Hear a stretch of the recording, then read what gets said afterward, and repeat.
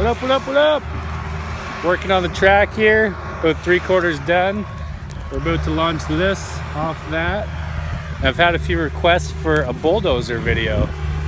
I mean, I don't think it's that interesting, but you know, a lot of people like different vehicles and bulldozers, so we got a John Deere 650J and it's been working hard.